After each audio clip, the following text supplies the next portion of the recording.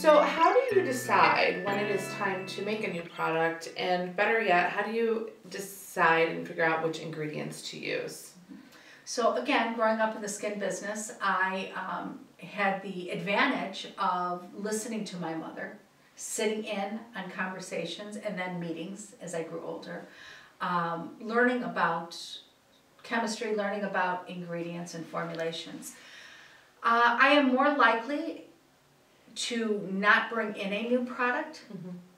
but to reformulate a new product, if that makes sense. It and does. we've done that over the years um, with a few of ours.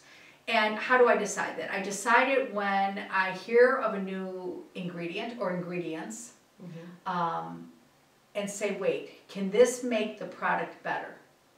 Instead of bringing in something new, and there's only so many products a person can put on their skin, I am convinced that if we can remove the confusion, we can create loyalty with clients and be more successful.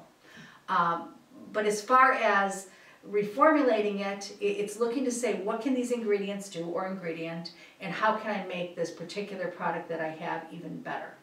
And if after discussing it with our chemist, um, if I find that to be the case, then most certainly I'm going to do that. So I'm always listening, I'm always researching, but I am not quick to um, to hurry up and bring something out.